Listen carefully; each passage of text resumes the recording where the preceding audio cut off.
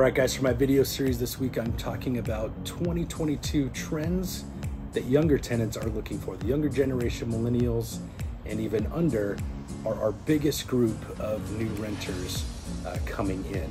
And they really like smart and green um, technologies for properties. So they're into stuff like Nest thermostat controls, um, remote garage door openers, remote pool um, uh, controls, ring doorbells, uh, artificial turf, um, all of those types of things that help the house be smarter and more green and, and more, let's say, tech savvy. So if you've got one of those really old 1987 thermostats, it's probably time to change it to make it more efficient anyways, because new tenants, especially the younger generation, they're looking for that.